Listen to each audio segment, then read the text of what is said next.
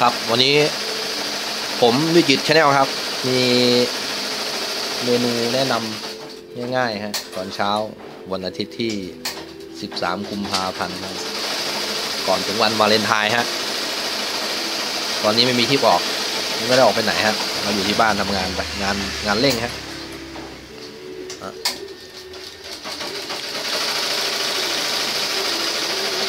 ทำกับ พวกจักรปักฮะปักคอมพิวเตอร์ปักโลโก้ปักอะไรประมาณนี้ฮะถ้าสนใจเพื่อนๆอยากเข้ามาใช้บริการก็มาได้ฮะโคราชหน้าเทคโนฮะแนะนำไว้ก่อนอะเข้ามาสู่เมนูการกินการอยู่วันนี้ นี่ก็คือหมูหมูซี่โครงหมูทอด กระเทียมครับไว้ทั้งซี่โครงมีทั้ง หมูสามชั้นอะไรประมาณนี้ฮะกับนี่พระเอกครับ มันต้องเข้ากับตัวนี้ฮะข้าวเหนียวร้อนๆตอนเช้าเนี่ยนึ่งใส่กระติกเออหมูก็ทอดร้อนๆน้ำจิ้มก็อย่างนี้ฮะซีฟู้ดธรรมดาธรรมดาเลยครับจะเข้ากันหอมกระเทียม ใบ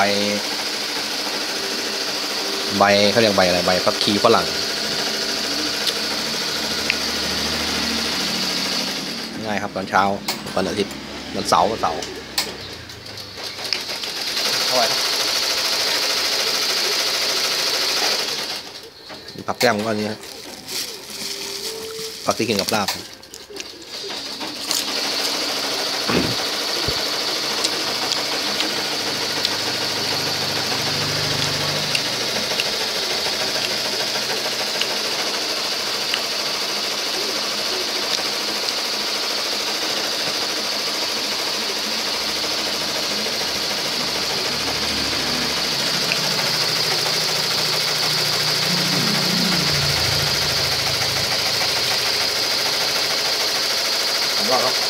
ครับทอดมาก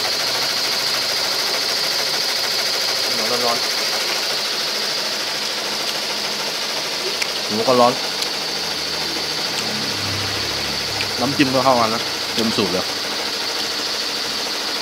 ๆห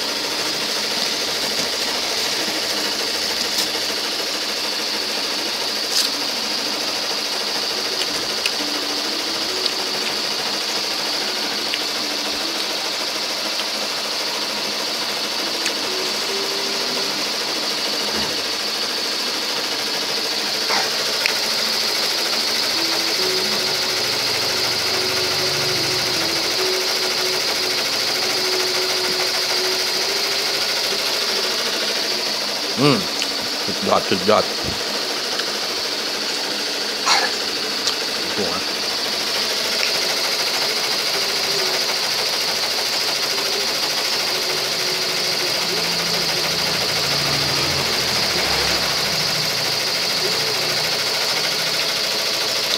ง่ายครับ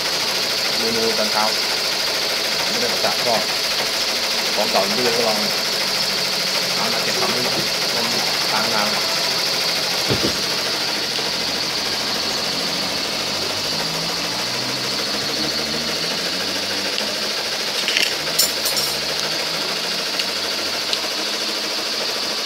ราปั้นอย่างนี้ก่อนนะข้าวเหนียวมันแน่นๆจับพันแน่นๆเดี๋ยวก็จะเลือกที่ไหนก็สุดแล้วแต่เลือกให้มันอร่อยที่สุด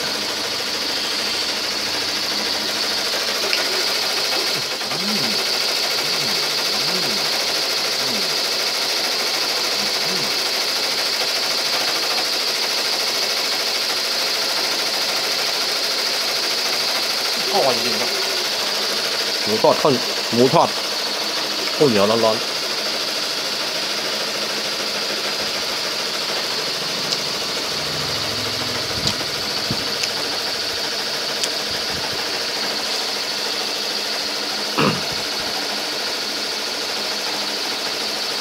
หลายท่านก็เคยลองทำกินแล้วฮะอร่อยจริง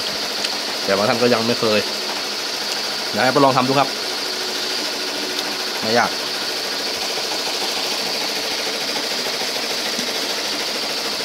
เมนูอีสานบ้าห้องกินอะไรไม่ค่อยยากเท่าไหร่อาหารการเดียวด่วนการเดียว เวลาที่เร่งรีบ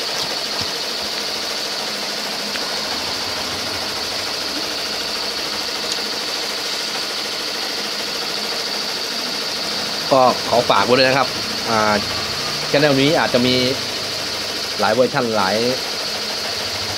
วิดีโอที่หลากหลายนะครับบางตัวก็จะมีการทำเกี่ยวกับ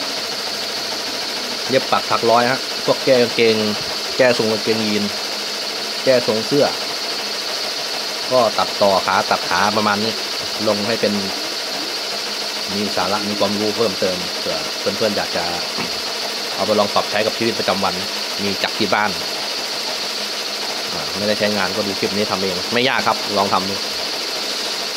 ก็คลิปต่อไปผมว่าจะแนะนำหรือว่าสอนวิธีการทำทำเสื้อช็อปเป็นตัวเลยฮะเป็นตัวเริ่มตั้งแต่ขั้นตอนการอ่าเขาเรียกว่าตีอะไหล่ขั้นตอนแรกตีอะไหล่จนไปถึงการเข้าคอเข้าแขนยังไงยังไงจนจนเสร็จเป็นตัวฮะก็ลองติดตามดูครับเพื่อนๆที่สนใจอะมาต่อครับอาหารการกินมื้อนี้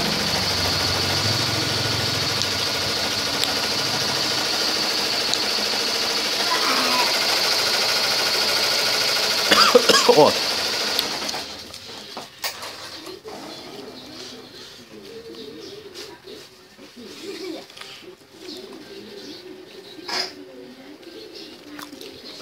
คลิปอาจจะเสียงดังนิดนึงเข้าไปจับมันเสียงดัง ตัวนี้กำลังปักโลโก้อยู่ ปักเสื้อไม่ได้ปักโลโก้งานเร่งครับช่วงนี้ เดี๋ยวก็ราจะพัด เราจะไปเอาค่ายกันสั่งเสื้อสั่งอะไรกัน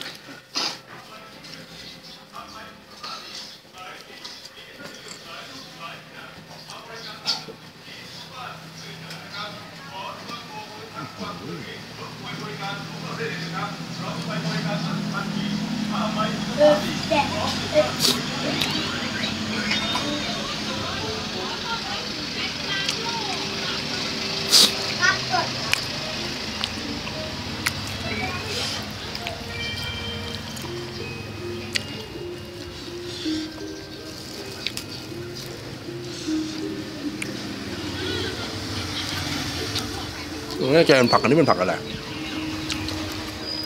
นี่ก็จริงกับลาบอะกลิ่นมันใบใบใบมะตูมชื่อจริงๆไม่รู้เขาเรียกอะไรเราซื้อลามจะได้มันประจำเลยแต่ยังไม่รู้จักชื่อกินมันก็เข้าท่าไงหอมดี ไปเลยดีกว่าค่ะเอ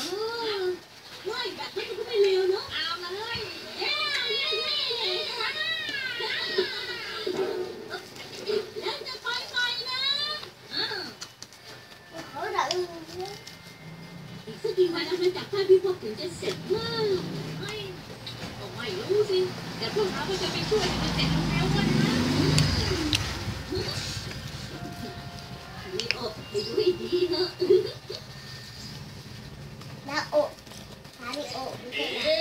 เอาจริงเหรอเนี่ย ใช่แล้วล่ะ บอกว่ามีคะแนนต้านที่สองไม่ได้ทำอะไรที่ต้องประกอบด้วยล่ะ เฮ้ยโนบิตะ ไหวเลยนะ